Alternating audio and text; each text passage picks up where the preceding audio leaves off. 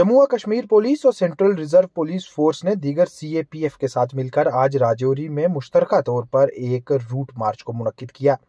इस route march की शुरुआत डिस्ट्रिक्ट पुलिस लाइंस राजौरी से हुई और फिर ये पंजा चौक, सलानी पुल, तारिक पुल, वर्कशॉप पुल, मैन बस अड्डा गुज्जर मंडी से होकर गुजरा।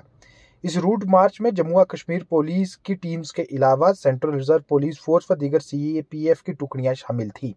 पुलिस की तरफ़ से जारी किए गए प्रेस बयान में ये जानकारी दी गई है कि एरिया डोमिनेशन के मकसद से इस मार्च को मुनद किया गया था।